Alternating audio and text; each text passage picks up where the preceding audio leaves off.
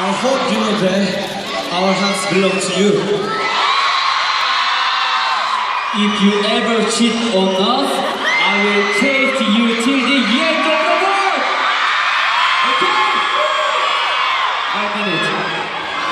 This year's last show. Do not leave any sorrows and regrets here. Let's enjoy the stage till the end. Dubai,